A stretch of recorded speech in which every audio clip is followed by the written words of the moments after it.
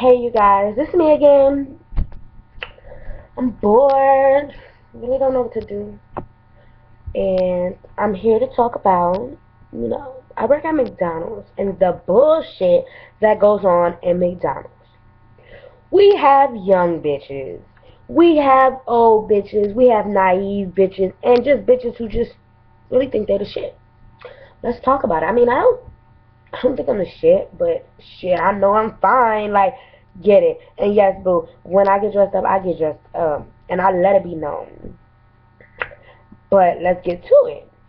So, is this one girl, I don't want to name names. Matter of fact, let me do my shout outs first.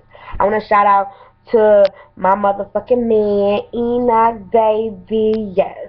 I want to give a shout out to my brother Patrick. Y'all might know him. He crazy as fuck. Like, that's the only nigga I know for a fact that is motherfucking crazy. He like our dad.